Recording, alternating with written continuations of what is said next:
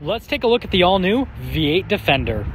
Powering the V8 Defender is a supercharged 5 liter V8 putting out 518 horsepower and then 461 pound feet of torque. Now, this V8 Defender is the Carpathian edition, so it's finished in Carpathian gray and it has the satin paint protection film, which I think looks fantastic.